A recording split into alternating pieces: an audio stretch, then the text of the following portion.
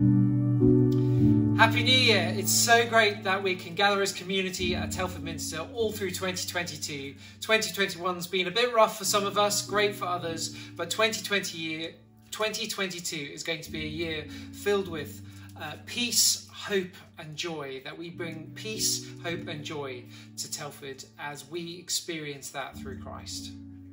Uh, this Sunday coming up at 2.30 to 3.30, we've got a chance to grill the vicars. Ask any question you've ever thought about, about anything, and ask our clergy team whatever they think, and we'll give you the answers to life's big question. This Sunday as well, from 4 o'clock, we're going to be meeting at St John's. We're going to do Sign Up Sunday. So that's to be a part of all of our groups, part of our communities. Come and find out what things we're launching this term at Telford Minster.